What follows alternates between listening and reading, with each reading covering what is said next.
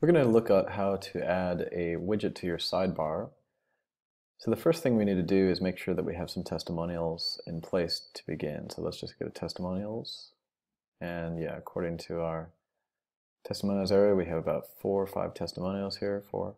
So um, we can use these to create a widget test, a widget instance of a testimonial. So let's go to our widget area first and add the testimonial widget. So we'll go to Appearance, Widgets, we see Handsome Testimonials Pro as a widget, which we can click here to add. That adds, adds this. I'm going to move it up to the top. But if I select here, I see that there's no widget instances.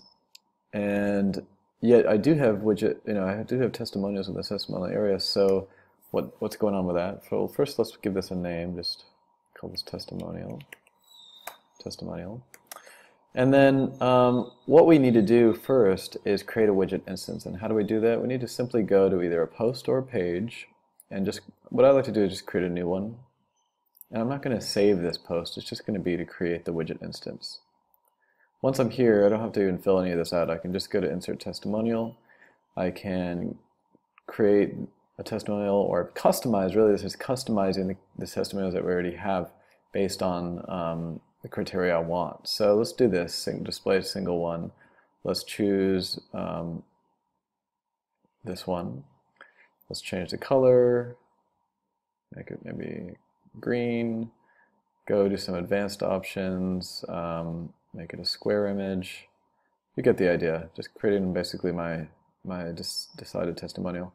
And then when I'm ready and I like how this looks, I'm going to call this woman, woman one. Well, this is woman two, so I'll create it as woman 2, and I'll save. I can now retrieve this in my widgets.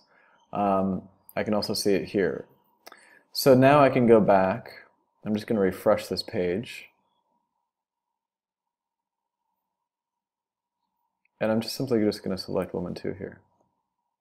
Now what do I do with the post that I created? I can actually just close this, and since I didn't save or anything, I can just close this tab and get rid of it.